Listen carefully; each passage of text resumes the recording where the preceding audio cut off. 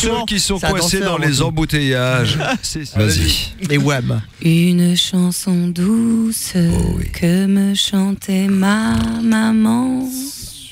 Encore, Je vais vous endormir. Encore, Ah, encore, encore. C'est super joli. suçant mon pouce, j'écoutais en m'endormant. Allez, en allemand maintenant. Ça fait du bien, ça fait du bien. Parce que moi j'ai trouvé un truc dans un chuchotement dans Gala à l'instant. Ah, rien les de chuchotements de gala, ah oui. Alors chuchote, vas-y, chuchote. Bah, Il y a rien de grave. Ils disent que tu prends des cours. Tu lui donnes des cours de guitare?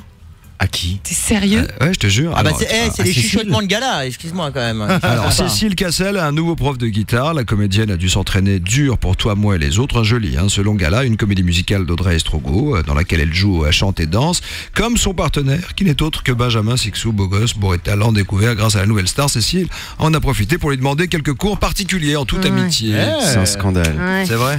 C'est un Il n'y scandale. a En jamais gros, eu de cours de en- guitare Bah non, voilà la preuve, je n'étais même pas au courant que je prenais des cours de guitare. En gros, la question c'est est-ce que vous êtes déjà pécho? C'est ça que tu veux demander. Je le connais par cœur. bah, allez voir le film, vous verrez. Ah d'accord. Oh, ira. bonne réponse, Ah, Cécile, bonne ah. réponse.